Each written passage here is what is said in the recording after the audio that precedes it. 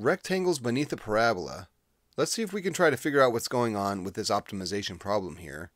It says a rectangle is constructed with its base on the x-axis and two of its vertices on the parabola y equals 48 minus x squared. What are the dimensions of the rectangle with the maximum area, and what is the area? Okay, well what in the world is going on here? In this exercise and with so many other exercises, the important thing to do first is to draw a picture so we can better understand what's going on. Because really, with all these words, it's a little hard to picture what's happening here. So let's draw our parabola and then try to fit a rectangle beneath it and see if we can see what this problem is describing. Okay, so here's a downward facing parabola. Note that that's exactly what we have in this situation. We can think of this as a vertical flip down and then we move it 48 units up. So it's crossing at 48 up there. Not that that's important. Um, and what's happening here is we're fitting a rectangle under this thing. Now this rectangle could be very short and very wide, something like this, or it could be very narrow and tall, like this, or something in between. Right? We have all these different rectangles we can choose. The thing is, it's constrained on the top by this parabola here. Okay, so let's write our goal, and then we'll write our constraint, and then we'll check in with the official steps to make sure we're on track. One of the most important pieces of these optimization problems is to be able to clearly identify exactly what we're trying to do. So here it says, what are the dimensions of the rectangle with the maximum area? Okay, so we're trying to maximize area. So we need an equation for area, and that's what we call the objective function. Area equals what? Well, let's do it like this. I'm going to label this distance here as x, and this distance over here is x, and then this height as y.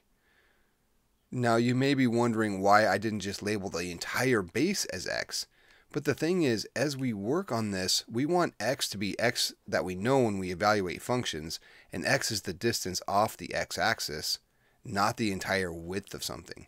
So I can easily get the entire width by just saying 2x, that's going to give us our width, and that way I can use x as distance off the x-axis and then plug in our f of x to get our y value. So here area is going to be base times height. Well, the base is then 2x, 2x times the height, which is y. The equation for the thing we're trying to optimize is called the objective function. Though not knowing that specific term will not affect your problem solving on these optimization problems in any way. Okay, next we need our constraint. That's something that's essentially going to limit the objective function, and it really pops out in this example. We have y equals 48 minus x squared, and these rectangles are forced to stay beneath that. So we'll just write in here y equals 48 minus x squared, and that it's constrained by this distance y can only be as high as the parabola itself. Okay, let's check in with the official guidelines for solving these to make sure that we're on track here. Okay, step one, read the problem carefully, draw a picture, identify the variables, we've done that. Identify the objective function, we've done that. Identify the constraint, we've done that. Step four, use the constraint to eliminate all but one independent variable of the objective function. Okay, let's solve it out from here. Okay, so we want our objective function in terms of only one variable, so I'm plugging in this y here this gives us a equals 2x times 48 minus x squared. And now we have something we can take the derivative of and optimize to solve. Well, I don't want to use the product rule, so let's distribute that 2x. So we have area is, what, 96x minus 2x cubed. Now we can take the derivative to find our maximum. a prime is 96 minus 6x squared. But we want to set this equal to 0 to find the maxes and the mins. Well, solving this thing then gives 96 divided by 6 is, it turns out, 16 equals x squared. And then we square root both sides and only take the positive value because we're looking for distance, which gives us x equals 4. Okay. Well, this is either going to give a max or a min, but how do I know which? Well, the minimums are going to be these extreme cases when x goes all the way across, for instance, and y has zero dimension to it, so a completely flat rectangle that way. and a completely flat rectangle being squished down vertically where x is 0. Neither of those cases are this, so this must be the maximum. I'll give a more mathematical reasoning in a minute. Let's answer the question. It says, what are the dimensions of the rectangle with maximum area? Well, we have 4 here, which means that this entire distance across is going to be 8 because it's twice that amount.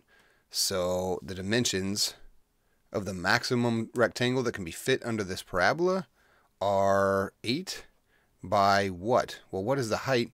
So remember that x is 4, not 8. So plugging in 4, we have y equals 48 minus 16, which is 32. So then the dimensions are 8 by 32. Note that it also asks what is the area? Well, the area is base times height, which is 8 times 32, which comes to 256. So notice I was able to arrive at that without doing a bunch of rigorous talk about the interval that x could possibly be and a bunch of rigorous justification on why it's a max and not a min. I just said, look, these are the mins and it's not that. So though the guidelines specifically say to find the interval of interest and all this, and here over here we're checking endpoints and that kind of thing, it's not necessary on most problems. Every once in a while you'll run into something where you're like, wow, I really need to consider the endpoints, and I hope that those jump out when you see them. But certainly in this case where it's just one thing happening, um, we can tell that the endpoints are just zero area, so they're going to be the minimums, and our maximum area is going to be the thing in the middle. Finally, you could always take the second derivative and note that that's going to be negative anytime x is positive. Since we're only dealing with positive x's, it's going to be concave down, which means any point of interest is going to be a maximum. That's the second derivative test.